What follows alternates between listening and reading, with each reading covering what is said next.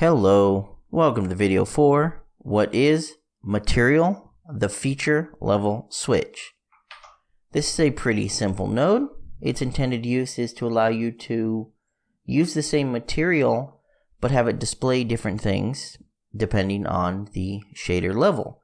So for example, we have our shader model 5, shader model 4, then we have our mobile HTML, Android, and iOS ES2. So basically, what it does is you have a feature level switch. It has inputs for each of the different types and then one output. Depending on the feature level that is supported by the graphics card, will determine which output is put into the material input. So, ES2, well, default is your default feature level. If something is not hooked up, it's going to use the default.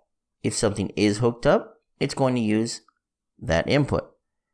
Now, ES2 is basically your standard OpenGL for mobiles. ES3 1 is basically for like your metal quality level devices. If we go to here, preview, and then our different shader model types, when you scroll over it, it'll tell you the differences. So, for example, ES3 is going to be our default mobile HTML5 preview. iOS ES2 and Android, for the most part, are going to be your ES2s. Shader Model 4 is going to be DirectX 10, OpenGL 3.3 Plus. It's going to be most of your PC video cards, but your older models. But even your newer ones can support DirectX uh, Model 5. Model 5 are going to be your DirectX 11, OpenGL 4, PlayStation 4, and Xbox One. So, anyways, now that we covered that, basically, how does it work?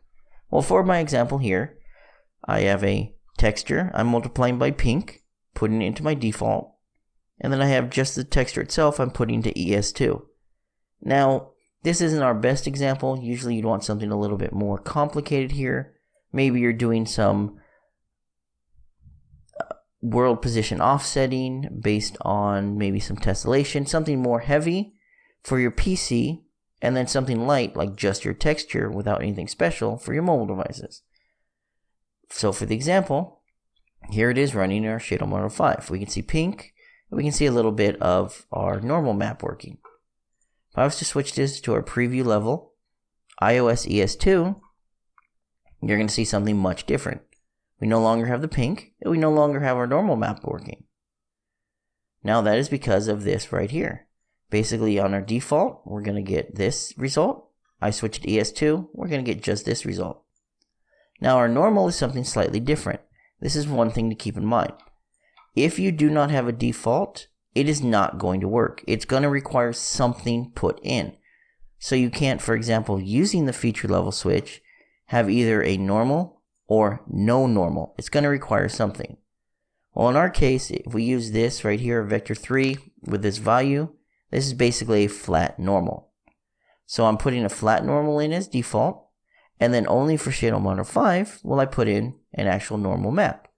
So once we go ahead and apply this and we run it again, load it up. Unfortunately, every time you do a change, it's going to recompile the shaders. All of your different shader types have different shaders, so that's something to keep in mind.